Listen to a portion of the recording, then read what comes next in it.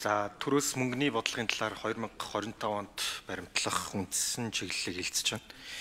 Тэгэхээр макро эдийн засгийн түвшинд нэлээд бас заавал авч үзэх ёстой хэдин эрсдлийн талаар асуулт асуумаар байна.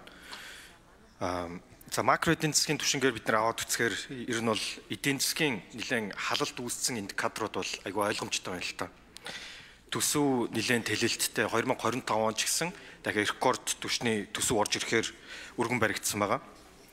За мөнгөний нийлүүл талаас за яг зээлийн олголт талаас харах юм бол түрүүн нэлээд яриглаа. Зээлийн олголт 31.5%. А тэр дундаа бас бидний заавал ойлгох ёстой нэг зүйл нь энэ дундаа иргэдийн зээлийн тэлэлт нь ингээ баг 60 70 үеиг бүртгүүлж байгаа. Нэгсэндээ бизнесийн тэлэлт гэдэг нь өөрөө бизнесийн яг цэвэр одоо өсөлт гарч ирж байгааг илэрхийлдэг. Гэтэл бизнесийн зээлийн тэлэлтээс иргэдийн зээлийн тэлэлт нь баг хоёр дахин өндөр ийм хэрэглээний зээлийн тэлэлт маш өндөр өсөлтөө. За ийм макро түвшин ажиглаж байна. За импортыг бас аваад үзэх юм бол импортын өсөлт нь яг оны ихэнтэй харьцуулахад 1.1 тэрбум доллараар өссөн ийм үр дүн харагдсан. За тэгээ мэдээж импорт өсөөд за хэрэглээний зээл тэлэлт тусан бас инфляц дээр дарамт үүснэ. А инфляцийг бас ойлгох хэрэгтэй. Инфляцийн 68% нь эрэлтээс гаралтай шүү дээ. 68-аас 70% нь эрэлтээс гаралтай. Тэгэхээр буцаад тэр импорт орж ирж байгаа буцаад зээлт хэлж байгаа энэ инфляц руу өндөр дарамт үүсгэнэ. За за мөн одоо төлбөрийн тэнцэл дээр ч гэсэн а экспорт улам цаашаа өсөөд рекорд хүрээд идэг мөртлөө гадаад валютын нөөц жишээлбэл сүүлийн 3 сар буцаад албан нөөцөл буураад байна шүү дээ тий. За яг хуваар нь аваад үзэх юм бол оны эхнээс хуваар аваад үзэх юм бол сүүлийн 2024 оны 6 сараас хойш жил сар болгон бууралттай юм ажиглаж байгаа. Тэгэхээр энэ нь буцаад төлбөрийн тэнцэл дээр илүү одоо эрсдэл илүү гарахаар харагдаад байна л да. Тэгэхээр энэ дээр бас тодорхой хариулт авмаар байна. За тэр дундаа бас нэг бидний авч үзэх ёстой зүйл бол яг түрүүн хэлсэн нэг иргэдийн зээлийн тэлэлт. За нийт иргэдийн зээлийг аваад үзэхээр 27.8 их 80 төгрөг те. 27.8 их 80. За энэний 70% нь банкны зээл. 70% банкны зээл. За тэр зээлийн зориултын 53.3% нь хэрэглээний зээл баг. Тэгэхээр ерөөсөө энэ цалин тэтгэвэр нэмэгдсэнтэй холбоотой эдийн засгийн төвчлөлтэй холбоотойгоор хэрэглээний зээл хамгийн их тэлэлтийг үзүүлсэн. За тэр дундаа одоо яг гарч ирж байгаа нэг бодит эрсдэл урд нь баг байгаагүй болов уу гэж би хараад байна л да. Энэ давхар давхар зээлийн эрсдэл үү? Давхар зээл.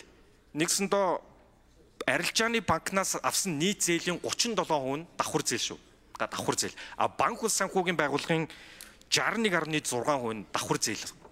Тэгэхээр өнөөдөр 350 мянган иргэд давхар зээлтэй. А тэгээд э, энэ зээлийн хэмжээ хэтэрсэн үү эсвэл хэмжээндээ байна уу гэдгийг одоо өр өр орлогын харьцаагаар ингээ хараад байгаа юм л да. Тэгэхээр өр орлогын харьцаагаар харахаар банкн дээр болохоор өр орлогын харьцаа сүүлийн 5 жилд хамгийн бага буюу 50.4%-тай. А банк улс санхүүгийн байгууллага дээр болохоор бараг 80% гарцсан ийм үр дүн харагдаад байгаа. Нэгсэндөө банк хязгаарлалтаа чангаруулангууд буцаад хүмүүс банкнаас авч чадахгүй зээлээ банк усаас аваад бүр өндөр хүүтэй бүр илүү ачаалтаа иргэд дээр очиж ийн гэсэн үг байна. Тэгэхээр энийг та бүхэн юу гэж ойлгож байгаа вэ? За ипотек бас нэлээд яригдлаа. За ипотек. А ипотекийг бас ингээд аваад үзэх юм бол Улаанбаатар хотод өгсөн ипотекийн 40% нь за 39.4% зөвхөн хаан улд үүрэг дээр байгаа. А Сүхбаатар Чингэлтэйг аваад үзэх юм бол ерөөсөө 9.5%. Тэгэхээр бүгдээрээ мэдж байгаа. Хаан улд бол мэдээж хамгийн үнэтэй тий одоо барилга баригддаг. Тэгэхээр энийг та нэг тайлбарлаад байгаа. Яг бид нар зорилтод иргэдэд хурж хурж ийн гэж дүгнж гин үү та? Тий.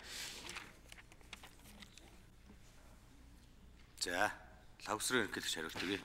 Ажлын хэсгийн 6 дугаар микрофон. За наримлах шүүний асуултанд хариулъя. Яг ерөнхийдөө эдийн засаг бол одоо ковидын геополитикийн нөхцөл байдлынхаа ард гараад сэрэгцэн явж байгаа гэдэг нь бол ойлгомжтой байгаа. Өнгөрсөн 7.6%, одоо энэ оны хагасчлаар 5.6% гэд өсөлт байхаар. Тэгээ энийг бол доктортой төвшөнд хадгалъя гэдгээр ерөнхийдөө мөнгөний бодлоо ингээд чиглүүлээд явж байгаа. Тэгэхдээ таны ярьж байгаа тэр халалтын одоо сигналууд бол мэдээж байгаа. Тэр утгаараа одоо мөнгөний бодлогын төлөв хатуу хэвээрэл ингээд аваа явж байгаа. А зүгээр зээл дээр бол одоо ерөнхийдөө зээл бол нэлээд хумигдсан байсан учраас тэр хумигдсан төвшнгөөсөө бол өсөлт бол ингээ өндөр гарч ирээд яваад байгаа юм. Одоо нийт зээл дотроо ялангуяа бизнесийн зээл нь сүүлийн үед бол нэлээд итгэвчж байгаа. За одоо нийт зээлийн өсөлт 31.5 багагийн 29.6 иргэдийн зээл 33% нь бол бизнесийн зээл болж ингэж байран солигдсон. Өмнө нь бол хэрэглээ нь өндөр байсан учраас. Тэгэхээр энэ дээр бол одоо мэдээж бас болгоомжтой хандах хэрэгтэй. Гэхдээ энэ бол зөв хандлага гэдгээрээ биднес хараад явж байгаа. За импортын өсөлт өндөр байгаа. Импортын өсөлт дотор хөрөнгө оруулалт нь бас нэлээд хувь эзэлж байгаа. Хэрэглээ хоёр бол хоёул огцмол байгаа л да. Зүгээр яванда одоо энэ импортын тансаг хэрэглэн дээр тариф татвараа тавиад эхлэх юм бол энэ бол буурах боломжтой. А зүгээр энэ оны хувьд бол импортын өсөлтийн бас нэлээд бас эерэг тал нь гэвэл хөрөнгө оруулалт байгаа. Ялангуяа хөрөнгө оруулалтын уул уурхайн тоног төхөөрөмжүүд, үйлдвэрийн тоног төхөөрөмжүүд, ялангуяа уул уурхайн тийм том даацын машин За богооны зүтгүүрч гэдэг юм ийм бас төрөл шинээр бий болж байгаа нь өөрөө бас зөв эх жилийнх одоо бүтээн байгуулалтанд илүү ашиглагдаад явах учраас гэдгээр бас Монгол банкны зүгээс болгоомжтой бас энэ дээр нь хараад явж байгаа.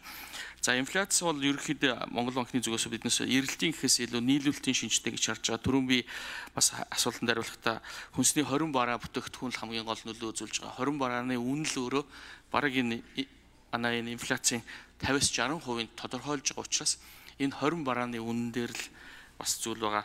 За экспортын хувьд бол бас тантай санал нэг байгаа. Ерөнхийдөө бараа бүтээгдэхүүний үн дээр нэлээд анхаарч экспортонд уулуурхаан биш салбарыг илүү явуулах нь тэр утгаараа Монгол банкнаас одоо эх жилийн нөгөө нийлүүлэлтийн шүлжээ гэж яриа юм дээр бидэд айлхоор нөгөө экспортод гаргадаг малай ажихын хөдөө ажихын гаралтай түүх хийдэг илүү төлхөө энэ дээр бас дэмжиж ажиллахаар зорьсон байгаа.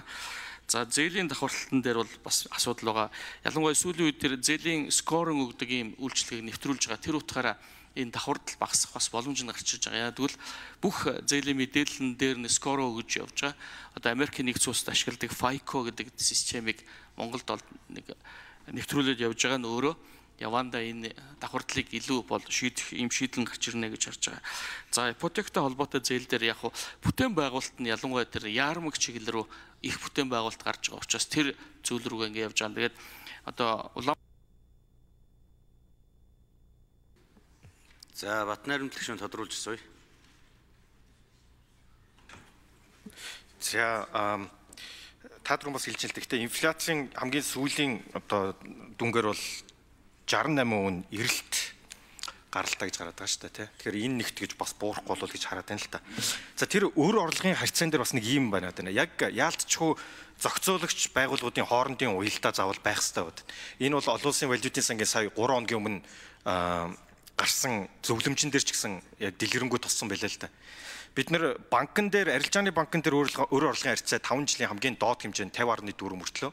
А тэгээд банк ус банк ус дотроо финтекийн зээлнүүд дээр болохоор 70 хувиар тавьсан. А уламжлалт зээл буюу нийт банк усын 62.5-ыг бүрдүүлж уламжлалт дээр ямар ч харьцаа байхгүй. Тэгэхээр магадгүй зарим нь өөр орлогын харьцаа нь 200% даваа ивцнийг ч үүсэхгүй л дээ. Тэгэхээр энэ гурвын хоорондын уялдаа хангахгүй бол яг асуудал үүсээд эдийн засаг удраашрах ч юм уу асуудал үүсгэхэд бол яг энэ чи хэрэглэгч талаасаа зээл бол За нэмж хариулъя. Баяр даваа дарга. Ажлын хэсгийн 2 дугаар микрофон.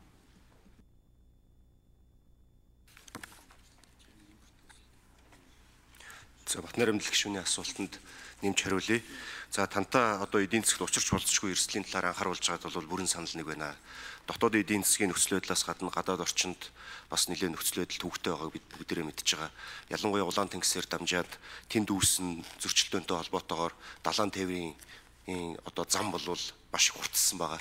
Энэ тээврийн зардал дээр жишээлбэл нөлөө үзүүлж байгаа. Тэнжээний бомбон дээр контейнерын бөөгнөрл бол 70 80%-аар нэмэгдсэн байгаа. Тэгэхээр энэ бүх зүйл бол өөрөө ингээд бидний логистиктэй холбоотой инфляцийн дарамтыг үүсгэх эрсдэлтэй байгаа. Инфляцийн эрэлтийн шалтгаантай гэхээсээ илүүтэйгээр одоогийн инфляцийн 50-аас 60%-ыг ерөөсө 20хан бараа бүтээгдэхүүн тайлбарлаж байгаа. Тэрний 11 10-аас 11 нь бол хүнсний бараа. Тэгэхээр энэ нөгөө нэг цэнхэр номон дээр бол ямар ямар бараанууд вэ гэдэг нь тодорхой байгаа учраас би танд хуудсыг нь хэлээд За Жамблын Ганбаатар гүш